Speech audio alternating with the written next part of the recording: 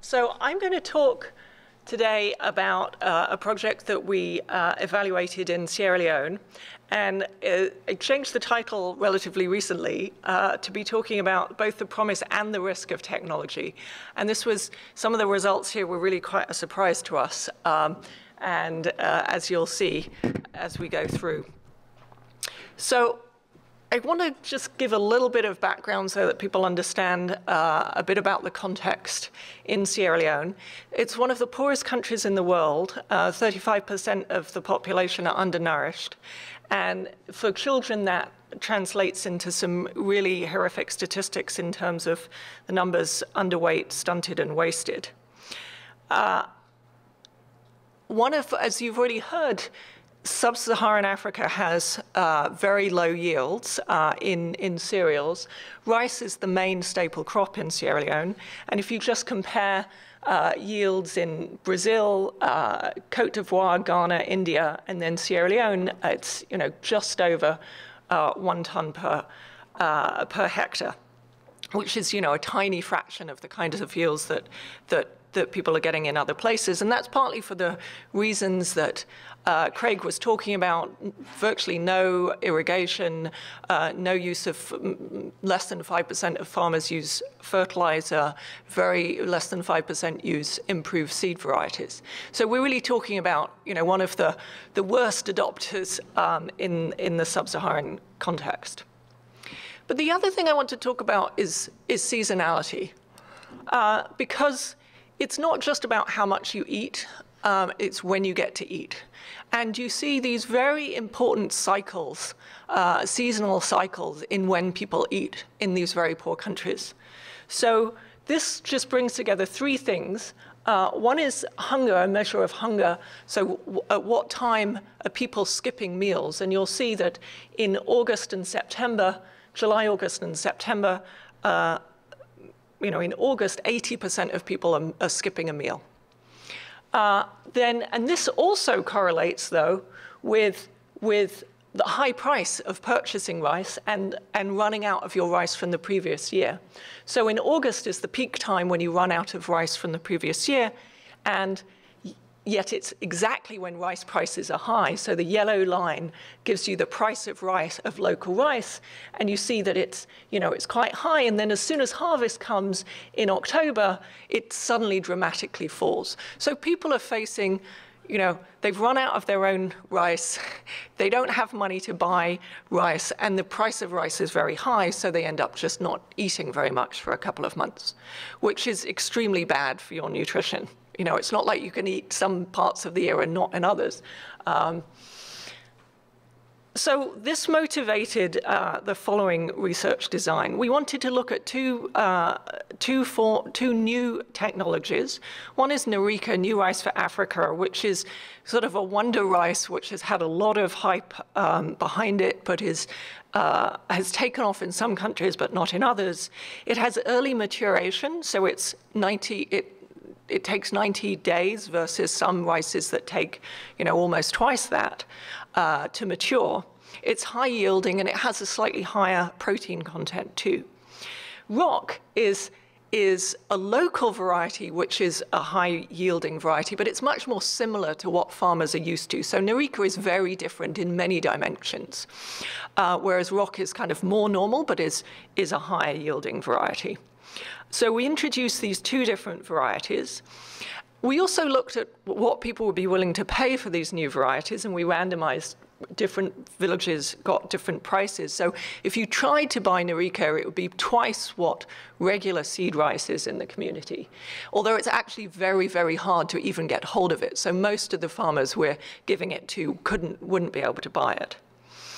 Um, and we also were interested in this question of training. Um, when you're introducing an entirely new product and two ones which, you know, one is very different from what you're used to, how's how important is it to provide training on that new product? And we worked with SLARI, which is the Agricultural Research Institute um, in Sierra Leone, and developed ROK, for example, um, themselves and, and, adapted NERICA to Sierra Leone, and the IRC, which of course is a big international NGO who were interested in learning more about what they could do on agriculture um, because they were seeing this very uh, strong you know, potential link between nutrition and, and agriculture. So the first basic takeaway is, you know, maybe not entirely surprising, you know, demand, the basic demand curve, but uh, everyone will take the rice if you give it to them for free. Uh, and but only 21% of people will, would take the rice if we charge the full price for it, and somewhere in the middle at half price, which is this basically the same cost as you would have to pay for a regular seed rice. So maybe not entirely surprising. And now we get on to yields. and um, I should say I'm going to give one caveat, which is the seed width that we gave out in one district had weevils in. So, um, which turned out that had, there was very poor germination. Um, so it was our, you know, our mistake in, in storing the rice before we handed out. So I'm going to give most of the results without Port Loko district um, because you know, that, that rice basically just failed. So these are, uh, this is, we've got our, here I'm just presenting, I'm getting rid of the, the price changes for here, and I'm just looking at the, the training effect. So we've got the control group, this is the yield on their rice farms, then the treatment with no training, so you get, and this is just NERICA, you get the improved seed, but you get no training on how to use it. And then the last group is you get this new seed and, and training. And you see a potential answer to this puzzle of why aren't people taking up new technologies. Because if you take it up and you're not trained on how to use it, your yields actually fall. So we see a 14% fall in yields, and this is on all your rice farms. So you're only growing NERICA on part of your farm. This is yields in your, your average yield for the whole farm and you're getting a 14% fall if you take on a new technology and you're not trained on how to use it. Uh, and then you get a 50, but you get a 15% increase in average yields. Again, only part of the farm is NERICA, but your average yield is going up by 15% if you get NERICA and you're trained on it. So it really is a wonder crop if you know how to use it. And we've dug, in, dug into the data to try and understand what it is about NERICA that people are getting wrong. And one of the things is that it, it's, if it's slightly wet when you plant it, it won't germinate. So you have to be really careful in how you handle the seeds and dry the seeds. And if you don't get it exactly right, um, you will, the crop will just completely fail. And this we see um, somewhere I have, maybe in the next slide, I have uh, failure rates. But the other thing that's interesting about NERICA is the timing, because as, you, as I pointed out, it's a much shorter maturation uh, of, of the seed. So and if you think back to that seasonality of eating, you have the potential for the harvest to come at a time when people don't literally don't have any food. So we see here that the groups that are most likely to have NERICA, the people who are getting free NERICA and therefore most likely to buy NERICA, are seeing their harvest, their first week of harvest, come four or five weeks earlier than everybody else. So we have the potential here for, now, it's interesting because if you talk to agronomists about NERICA, they get really excited by the fact that it's a short, short duration and therefore people can grow three crops in one year. Nobody does that. None of our farmers do that. But they are, they are interested in growing and it coming earlier because then they have something to eat in September when otherwise they wouldn't have anything much to eat in September. So it's interesting how you know, differences in the how the farmers see the benefits and how the agronomists see the benefits. One of the reasons I think they don't plant multiple crops um, on one, on you know, on the same plot in in one year is they deliberately stagger their crops so that they're harvesting one rice in you know September, another in October, another in November, and they And so if you were to replant, then they'd be trying to harvest two crops at the same time, and they can't do that. So they're already using their seed as their financial instrument. They're using the staggering of their planting to stagger their income flows as much as they can. But there's no seed that lets them, except for NERICA, that lets them generate income in, in the end of August, beginning of September. Here's where we see the answer to why it is that you see lower yields with NERICA without training, and it's because you have much higher failure rates, uh, partial or, or, and this we think is becoming coming from the wet seed. Now, again, think through the timing issues.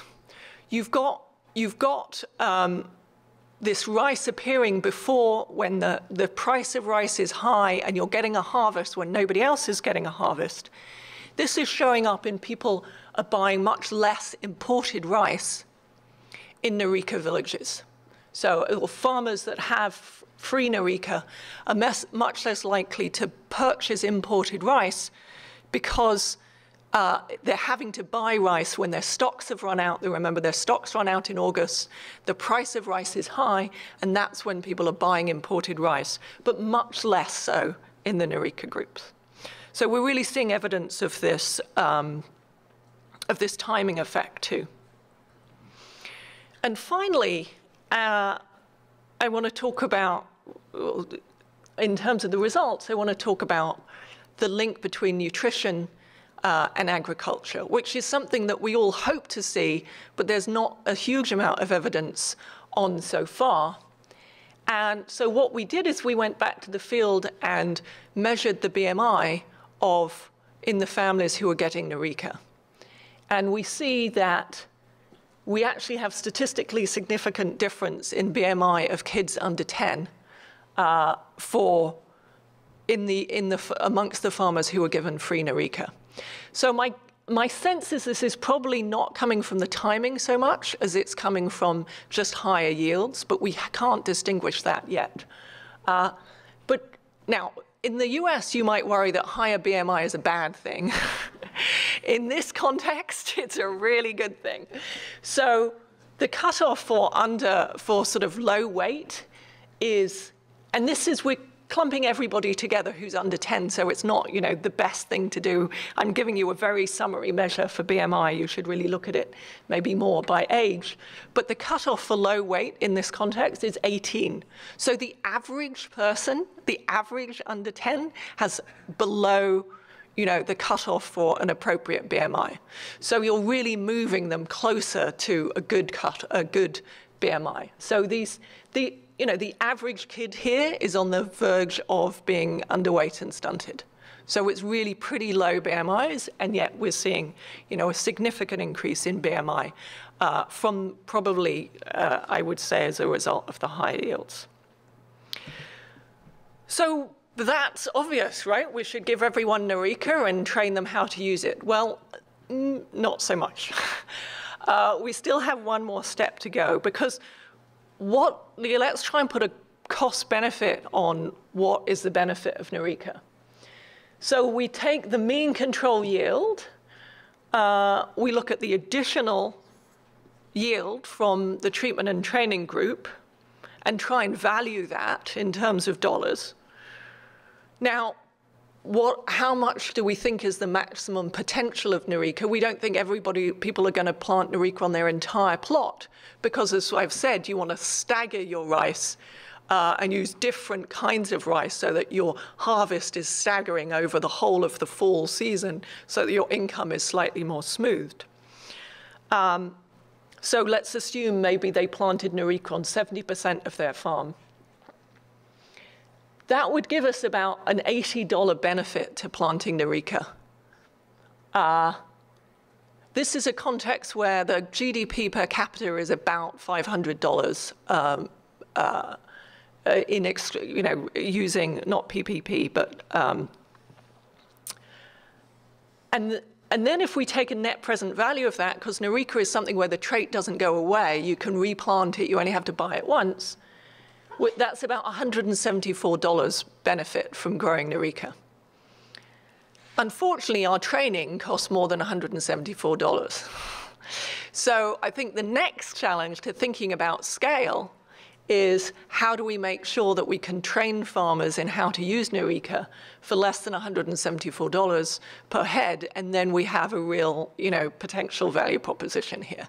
But you know, this is another thing that we have to worry about is doing that kind of training at scale cost effectively is not an obvious thing to do. I think it's easier now we've think we've isolated what it is that people are getting wrong about NERICA.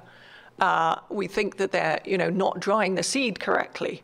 Uh, but this is, um, and this is what we'd potentially like to do next. But you know, it should be possible, I think, to try and do a training for less than less than $174, but it's um, you know, it, doing that at scale is definitely a challenging thing. So this wasn't where we expected to get, be when we started this. We thought the training wouldn't go, be very helpful, and we end up finding that actually it's terribly important to combine training with, uh, with the introduction of a new technology, which leaves us with the challenge of how do you do that cost effectively and at scale, which is something, fortunately, other researchers in the ATAI community have been working on too. Thanks.